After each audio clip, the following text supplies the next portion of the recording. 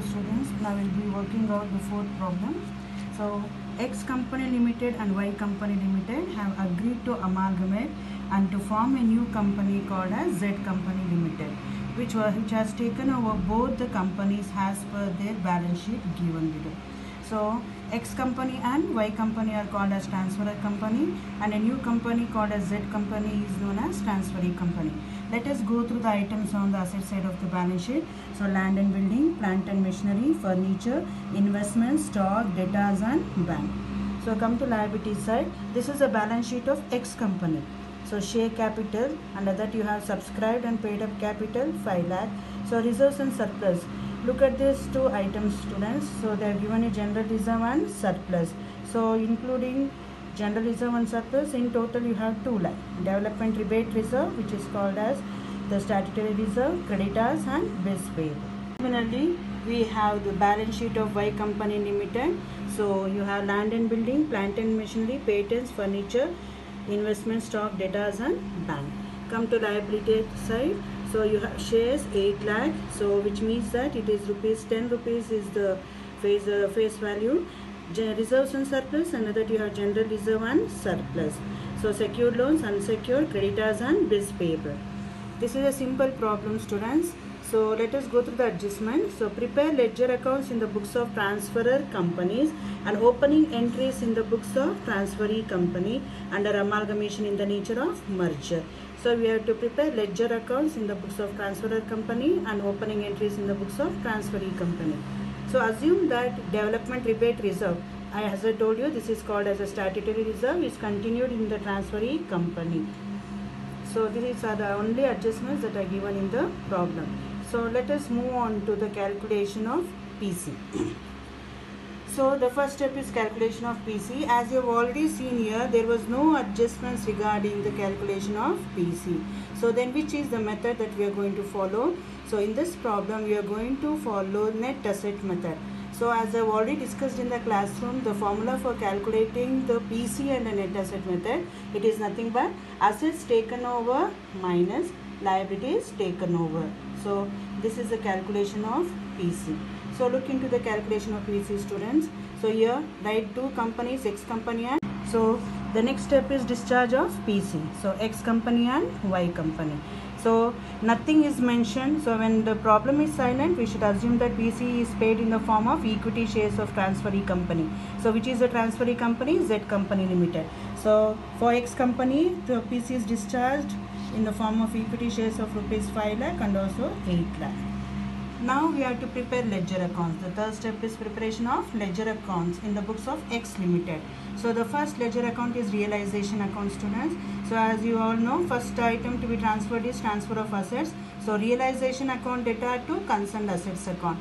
For these items, you can just blindly look into the PC calculation. So here whatever assets and liabilities that you have shown here, same thing you have to write in the realization account also. Now come to uh, credit side. So by li- uh, liabilities can taken over. So so by development reserve, secure reserve, secure loans, etc. And then for the PC due, the journal entry would be by Z, Z company account. So 5 lakh. This is the amount for PC due. Balance the account. So you can just have a close look at this. So here we don't have neither realization profit nor loss. Now come to purchasing company account. So first we have to show the PC due. What is the journal entry? Purchasing company account data to realization account. Then we have to write the amount of PC received. So PC is received in the form of shares. So what is the journal entry? Shares in Z company account data to Z company account file. So now I will be discussing the ledger accounts that appear in the books of Y Limited. As usual students, first transfer the assets. So the journal entry will be realization account data to concerned assets account. Transfer all the assets that we have already shown in the calculation of PC. And similarly transfer all the liabilities. So the journal entry will be concerned liabilities account data to realization account. These are the liabilities that has been transferred and then the third entry will be for PC due. So the entry will be Z company account data to realization account. The PC is rupees 8 lakh. So if you just have a close look at this realization account, even in this problem, in the Y limited transferor company account also, there is neither profit or loss on realization. Now we'll move on to the purchasing company account that is X company Z company account. So first for the PC due the entry will be Z company account data to realization account 8 lakh. Then PC received. So the journal entry is the PC is received in the form of shares. So journal entry will be shares in Z company account data to Z company account amount is rupees 8 lakh. Now moving on to equity shareholders account. So first write the due amount students. So for the due, what is the journal entry? Equity share capital account data to equity shareholders account. The amount is rupees 8 lakh. And then for the final settlement made to equity shareholders, the journal entry will be equity shareholders account data to shares in Z company account just look into the due amount students. It is 8 lakh. And the amount that you are paying is also rupees 8 lakh. That is why we didn't have neither realization profit nor loss. Now let us look into the opening entries in the books of transferee company that is z company limited. The first journal entry will be for pc due. So business purchase account data to liquidator of x company it is 5 lakh. And liquidator of y company it is 8 lakh Second journal entry would be for transfer of assets and liabilities or incorporation of assets and liabilities.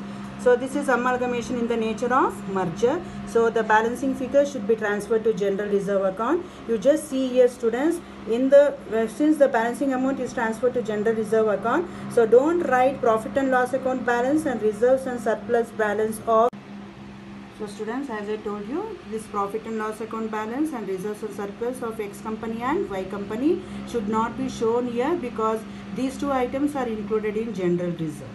Okay. So the third entry would be for PC discharge. So the PC is to be paid to the liquidator of X company and Y company. So liquidator of X company account data and liquidator of Y company account data to equity share capital, it is 13 lakh. Now we'll move on to balance sheet students. So balance sheet. So shareholders funds under that you have share capital. So issued, subscribed and paid up capital is rupees 13 lakh. You look into the opening entries. So equity share capital that is discharge of PC in the form of equity shares. How much is the amount? 13 lakh. So this is the amount of 13 lakh that is shown here. Now come to reserves and surplus. So development rebate reserve and general reserve. These two items again appears in the opening journal entries wherein you have incorporated the assets and the liabilities. So these are the amount that you are supposed to write. Okay. Development rebate reserve and general reserve. Now come to non-current liabilities. So here also secured loans and unsecured loans. Look into the opening journal entry students. Then come to current liabilities and provisions. So creditors and bills payable. Now come to asset side of balance sheet. You have non-current assets. So under that you have fixed assets. So land and building, plant and machinery, furniture, patents which you have already shown in the opening journal entry. Same amount you have to be, it should be written here. Then invest